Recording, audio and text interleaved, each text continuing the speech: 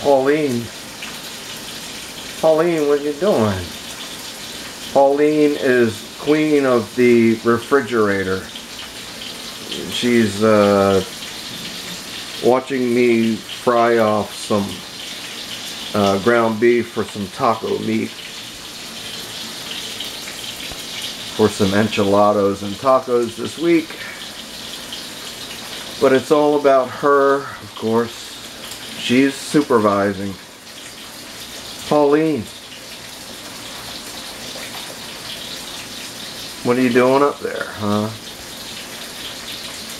Okay. Say hello to YouTube and all your fans. Yeah. Pauline.